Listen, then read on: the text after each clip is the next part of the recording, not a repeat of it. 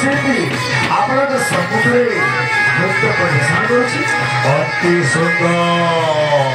সতরে মহারাজ এমানকে প্রশংসা নকরি রহি হোক